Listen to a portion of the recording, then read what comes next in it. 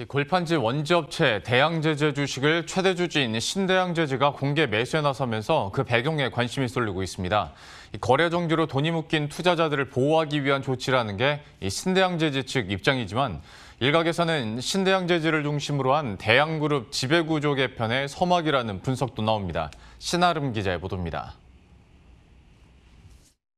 신대양제지가 대양제지 주식을 공개 매수하겠다고 밝힌 건 지난 16일.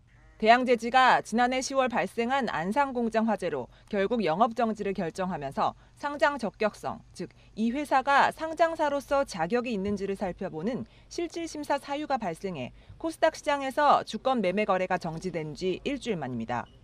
아직 한국거래소가 대양제지의 상장 폐지를 확정한 것은 아니지만 여러 가지 가능성을 염두에 두고 만일의 사태에 대비하겠다는 포석입니다.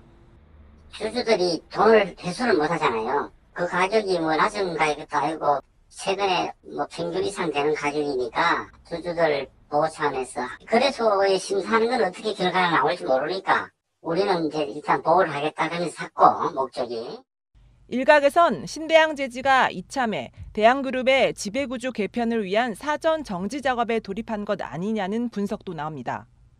신대양 제지가 공개 매수에 나선 대양 제지 주식은 627만여 주.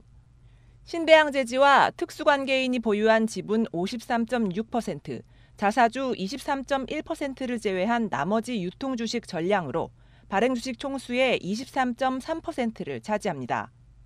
만약 신대양제지가 공개 매수에 성공한 뒤 대양제지를 흡수 합병한다면 공개 매수가인 주당 3,260원, 총 205억 원가량만을 들여 대양제지가 최대 주주로 있는 대양판지와 광신판지까지 품에 안을 수 있다는 계산이 나옵니다. 이런 가운데 지난 19일 신대양제지는 금융당국과 한국거래소에 공개 매수 신고서를 제출하고 다음 달 23일까지 공개 매수에 돌입했습니다. 머니투데이 방송 신아름입니다.